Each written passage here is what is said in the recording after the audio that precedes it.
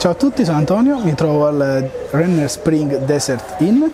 è una piccola oasi in mezzo al deserto, se viaggiate da Alice Spring eh, verso Darwin potete fermarvi qui per riposare, eh, c'è un camping eh, molto simpatico nel verde, quindi un bel giardino verde dove poter piazzare la vostra tenda, o altrimenti se preferite un piccolo bungalow potete noleggiare uno di questi bungalow. Eh, la location è molto simpatica, molto tranquilla, c'è una piscina dove poter fare il bagno, eh, molto fresco,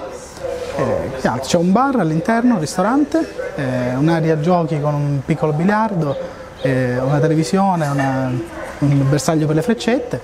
è un posto molto simpatico per fare una sosta se siete in viaggio.